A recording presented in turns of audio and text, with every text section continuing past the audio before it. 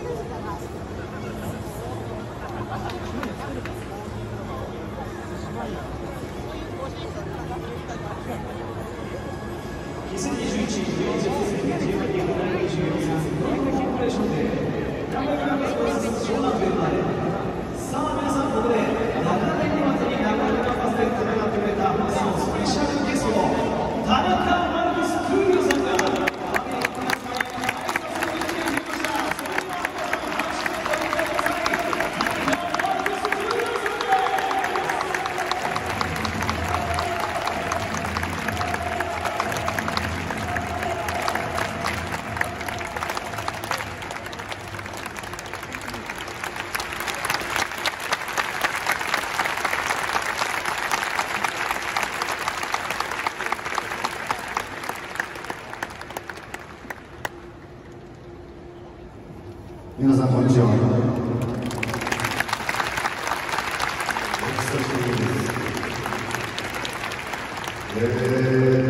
ー、最近なかなか鳥肌立つことないんですけど久々になんか皆さんの前に立つといろんな思い出があって少し緊張しておりますえー、2010年の優勝からなかなかタイトルが見えます、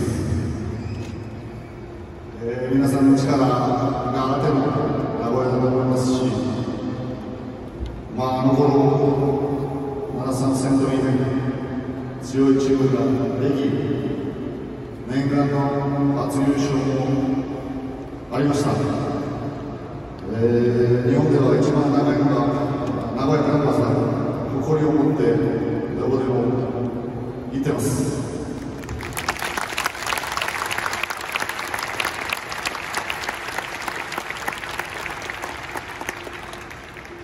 えー、僕ら優勝した頃なかなか3万入ることがない中で、ね、常にさっき聞いたら3万が3万5千かっていう話をいただきましてこれでタイトル取らないといけないことになるんじゃないというふうに思います。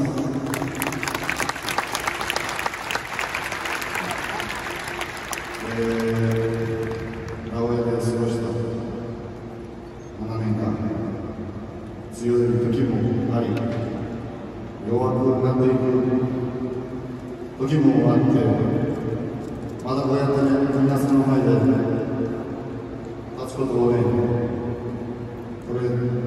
人生の宝物だと思います。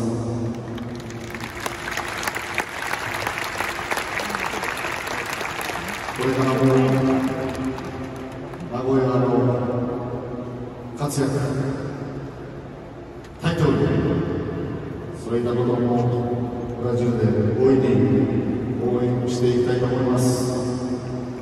また皆さんの前に立つことを願って